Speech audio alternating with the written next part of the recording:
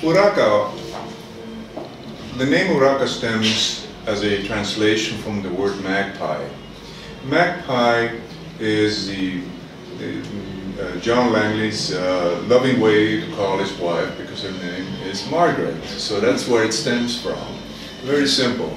So from Maggie or Margaret, he calls her Mags, Magpie, and then uh, started out with a vineyard in California in Ojai called Magpie. So this was the basis of the foundation. From then on, uh, as I described earlier, we, we traveled uh, the right side of the Andes and also the left side of the Andes and discovered Argentinian wines. Myself, I had known about Argentinian wines since I had lived here for 18 years.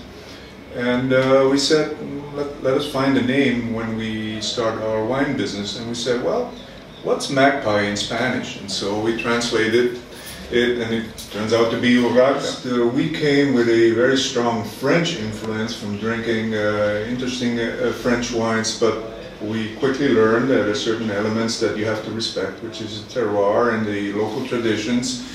And then particularly when you go into Malbec, I mean, you're, you're not going to modify Malbec because uh, this is this is what what is um, the very important uh, variety. well, Walter Bressia loves blends. He's a Bordeaux yes, yes, he's a he, exactly. And so actually, when we look for winemakers, uh, we interpreted, we tasted many wines and found his style to be very similar or exactly what we wanted. So that's why we approached Walter. So that was the initial identity.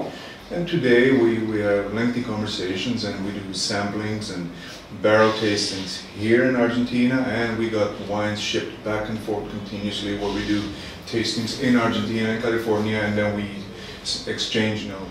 Okay. Thank you very much and I hope you enjoy Winemaker's Night here at the Wines of Mendoza. It is my pleasure to be here. Thank you.